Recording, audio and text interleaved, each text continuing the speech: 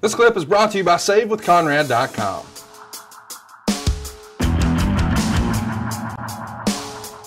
Talking about a rumble today that, well, we are not going to cherish forever. We're going in our way back machine, but not that far back, just five years ago. And I remember this one like it was yesterday. Royal Rumble 2015 went down on January 25th at the Wells Fargo Civic Center right there in Philadelphia, PA. That was, in fact, the 28th Royal Rumble. It drew a capacity crowd, or it felt like it, at 14,000 in attendance. But man, the uh, the moving parts around this show, and you know the the debate was uh, a pretty hot topic amongst fans. We'll get into it. Let's talk about it. Daniel Bryan was out with a neck injury around this time. Tons of rumors that he's going to be coming back at the Royal Rumble. Meltzer would even say the return of Daniel Bryan at the Royal Rumble on the 25th in Philadelphia would, in theory, solve some WWE problems, but it could exacerbate existing ones. Bryan Danielson's career has been considered very much in jeopardy when, after what was thought to be a minor neck operation that would have him back in the ring in two months, wound up not regaining strength in his right arm, to the point that his career was considered very much in jeopardy. Danielson was scheduled in August to undergo a second uh, neck surgery to attempt to alleviate the nerve problems that caused the weakness. And just before the surgery, his doctors advised against it. He has since been doing extensive rehab, acupuncture, and other treatments, but for several months, the strength didn't come back. And Danielson credited a doctor in Denver who he didn't name for repairing his problem that will now allow him to return to the ring. Uh, we didn't believe it at first, he said in an interview for WWE. It's one of those things where you're like, this guy's not for real, right? But he was for real. And then the doctors told me I was cleared. And the inner circle in WWE, which didn't know if he could return at all, were aware that he was going to be able to return about three weeks ago. And the decision was made to have him start back at the Rumble. So, Arn, there's a lot to unpack here, but when we're talking about somebody having some some neck issues, some back issues, and you know, them not regaining feeling in their arm, man, some of that's probably resonating with you, is it not? Well, if you want to talk about this subject, I'm your man. So when you lived it, when when you hear that this is the issue, do you have a conversation with Daniel about it? I mean, you're uniquely qualified in this case, and you know you had your career cut short to a very very similar situation. You got to, your heart goes out to him in a time like this, I'm sure. Well, Daniel and I had several, and I would say probably more than several conversations. Every time I saw him, I would pull him aside, ask him how he was doing, ask him how his progress was, let me see the atrophy, you know, and all those things because he was living exactly what what I live today and was living then and all throughout that injury. It's a it's an ongoing effort. Um, the difference was with Daniel is he met this guy in Denver. And and after going through this extensive therapy, and I know the kind of guy Daniel Bryan is, I'm sure he did three times the rehab that he was scheduled to do. Because in our business, your product is your body. Right. And uh, you know, you got to get out there and, and, and put yourself on TV and you got to be performing and you're only as good as your last match. And, you know, when he's in the back, it doesn't matter about where the target date may be to start back and all that, or it, it's more about how's your progress doing. And he had all these really negative situations where he met with the doctors and they're going, forget about it, forget about it, forget about it. And he just kept his nose to the grindstone and kept, you know, doing his rehab and doing all those things. And I guess this guy in Denver was a miracle worker it's really remarkable that he is coming back. And, and most of our listeners remember he had, you know, set the wrestling business on fire eh, back in 2013. He kept that momentum going into 2014.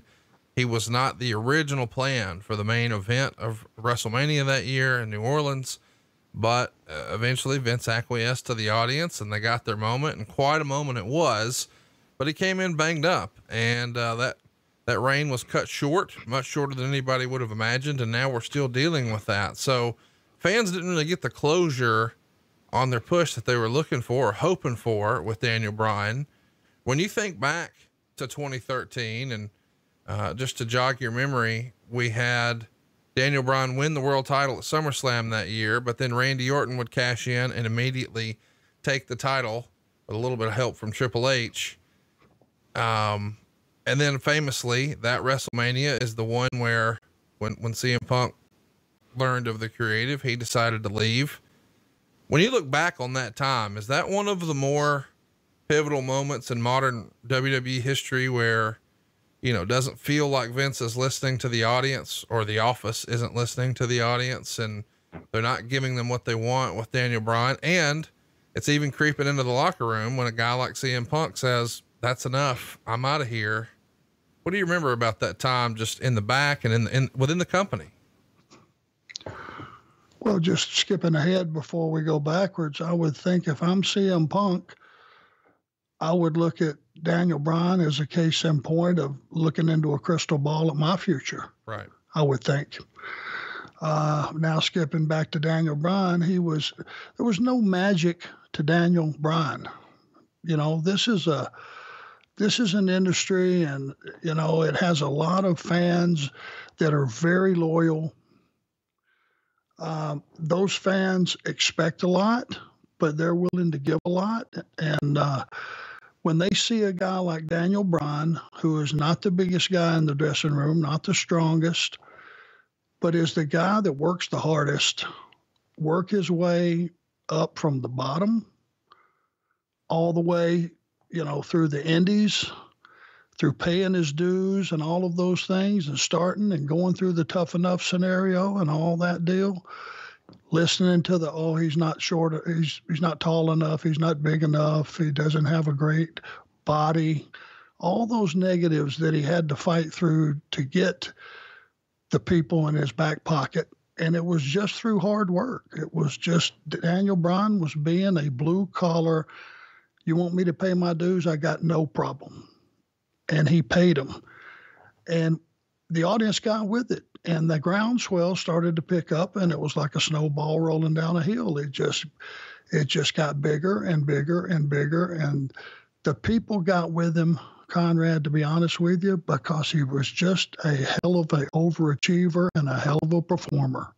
That's the only magic that he worked and he gave it to them every time they saw him he would go out and bust his ass and that was the uh, that was what he brought to the table, and it worked. It was not a bunch of magic. It wasn't a bunch of smoke and mirrors. He wasn't turning an 18 wheeler over or anything like that. He just went out, and every time you saw him, he gave you a hell of a match, and that's what he brought to the table.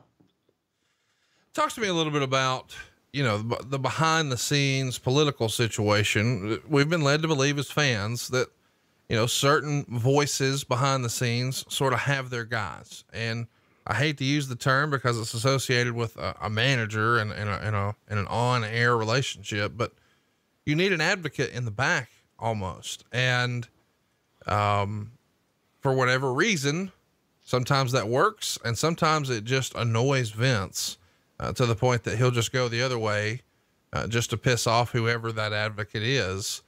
Did you ever see anything like that with Daniel Bryan? Was there somebody behind the scenes who was really waving the banner for him, saying, This is our guy. This is who we should be pushing here? Well, I know this. You had all the producers pulling for Daniel Bryan because we saw it not only at just television, where you can look at TV with all the pomp and circumstance and all the stuff blowing up and all the wonderful lighting and all the great music cues and all that magic that you work to make a television show something special. When you get to a live event, you see what you really have. And there was no change with Daniel Bryan. When his music hit, the roof came off the place all the way to the ring. They stayed with him throughout the match and they were with him when the match was over. And so we were all advocates of this guy's getting over the old fashioned way. He's earning it. And when you get over that way, you stay over. See, that's the that's the difference. There's no magic being done. That, that when you take the magic away, you don't have anything remaining. Daniel Bryan was a blue collar guy that was getting over because he was going out and grinding it out, and the audience was getting behind him, and uh, it was working. You know, there was always going to be those people, whoever they are. You know, you never have that conversation. Okay, yay or nay, Daniel Bryan. can I show a hands? You know, that didn't didn't Right. occur. Sure. Um, you know what I mean? Right. Uh, but you know, there's there's always been this cosmetic thing with with that company with WWE Cosmetics. It's almost the most important thing. Thanks for checking out the podcast here on YouTube. Be sure to hit the subscribe button so you don't miss any future clips that we upload. We hope we made you laugh, and we hope we can save you some money right now at SaveWithConrad.com.